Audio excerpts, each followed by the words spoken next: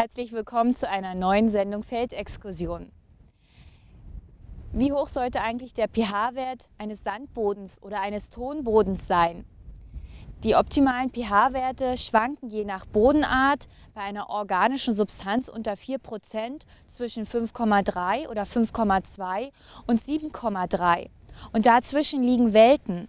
Denn der pH-Wert ist der negative dekadische Logarithmus, also 10er Logarithmus der Wasserstoff-Ionenkonzentration. Ziel ist es, den optimalen pH-Wert Ihres Bodens anzustreben, so dass dann wirklich auch das Pflanzenwachstum gewährleistet ist und die Bodenstruktur, also die Fluffigkeit des Bodens, top ist.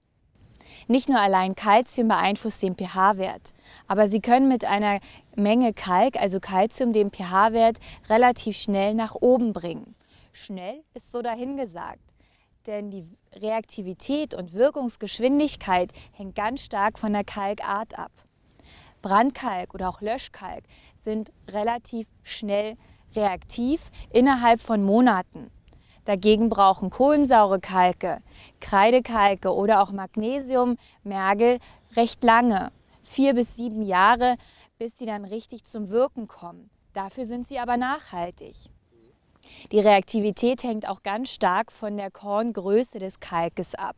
Er sollte schon fast mehlartig weich sein, so dass er dann auch wirklich schnell reaktiv werden kann. Außerdem achten Sie bei magnesiumhaltigen Kalken darauf, dass auch Magnesium basisch wirkt und rechnen das an. Haben Sie Sandboden? Ja, Sandböden sind typisch für niedrige pH-Werte und ein geringes Puffervermögen. Da sollten Sie maximal 1500 Kilogramm CaO pro Jahr ausbringen.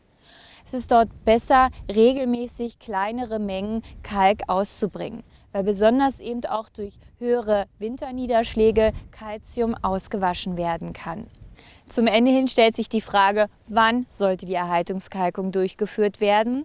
Ja, wenn Ihr pH-Wert des Bodens in Ordnung ist und nicht Not am Mann ist, dann reicht es aus, wenn Sie den Kalk zur Getreidevorfrucht vor der Blattfrucht ausbringen, sodass dann genügend Zeit ist und der Kalk dann zur Blattfrucht wirken kann. Haben Sie Fragen zu Kalk, Kalkung oder auch generell zur Grunddüngerplanung, dann rufen Sie uns doch einfach an. Gerne können wir dann gemeinsam eine Planung erstellen.